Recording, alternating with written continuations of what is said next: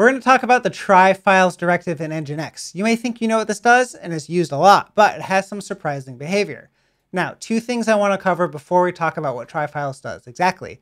The first thing is what is the URI? So the URI, pretty simply, is anything after the host name, after the host name and port. So we have a backslash here of the homepage. That's a URI of backslash. Slash foo is a URI of slash foo. Slash foo slash bar is a URI of slash foo slash bar, right? Same thing for any static files. The URI here is slash app.js.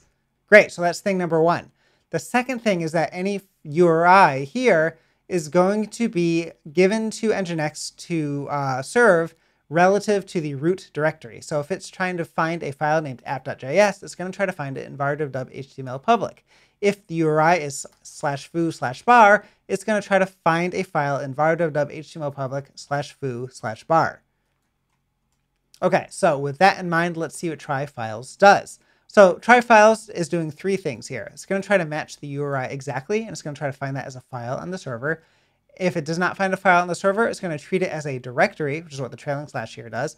If the um, directory exists, then it's going to try to serve a file out of that directory. If it does not exist, it's going to pass off to slash index.php, right? So one use case here is the slash app.js file, which serves a JavaScript file. That is because it saw the URI of slash app.js. It saw that var.html public app.js existed, and it served it because it saw that was a static file that exists. If I go to uh, slash foo or slash foo bar, then it's going to try to find that as a directory in here.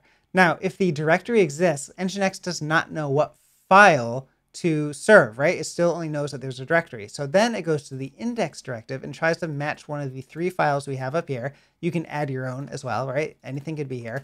But Nginx is going to try to find in the directory given uh, index.html or index.htm or index.php. If either, any of these three are found in the order, right, it's going to go by whatever file it finds first, then it's going to serve that file. Lastly, if no file exists, right, so if file doesn't exist as given, a directory does not exist as given, then it's going to fall back to slash index.php, appending any query string that might happen to be there. Okay, so that's the basics of try files, but there's a little bit more to it. The uh, file that exists exactly as given as the URI is the obvious case, serve it or don't serve it. The directory is a little more complicated because either um, there's a directory in a file that exists, or if it's just a directory, then it tries to find the index file. If the index file given is index.php or uh, the URI given does not match a file or a directory, then it's going to be index.php as well, right? So there's two cases here where it ends up being index.php. Now, when it falls back to index.php in either of those cases, then Nginx knows to pass that off to PHP FPM to then get served by our Laravel application thanks to this location block. So after try files for this uh, root location block, which matches any URI, um, if try files matches a file that exists, then it's going to try to find other location blocks that might also handle that file. So files ending in .php end up in this location block, in which case it passes the request off to PHP FPM, which ends up in our Laravel application. If the location block ends in, um, oh, I'm sorry, if the URI ends in .css or css.map or JavaScript or JPEG, blah, blah, blah, all those other static files, then it gets served out of this location block, which sets an expiration header of seven days and decides not to log a not found or uh, any access log for these requests at all, because that just kind of blows up your access log for no reason. Okay, so let's see uh, some examples of that. The first thing, right? I'm on the homepage of my Laravel app. The URI is just a backslash.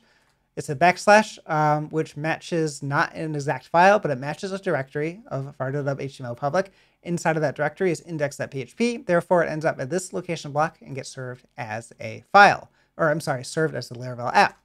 If we have uh, slash app.js, that gets served as a JavaScript file because the URI matches exactly. The uh, URI ends in .js, so we end up down here, which searches for a .js file and then you know it gets an expiration header of seven days and no access log and all that good stuff. If I go to slash foo or slash foo bar or anything like that, that does not exist as a file. It does not exist as a directory. So it goes to the fallback of index.php. Therefore, uh, that gets passed down here. So it gets served by our Laravel application in the end, which is why our 404 page here is a Laravel 404 page. It's not the Nginx default 404 page, right? Laravel is actually serving this request, seeing that foobar slash foobar doesn't match any registered routes in the Laravel application, and therefore it returns a not found error. Okay, so that is how try files works. Just like a lot of Nginx, it's simple in theory, but it gets complicated in the details, right?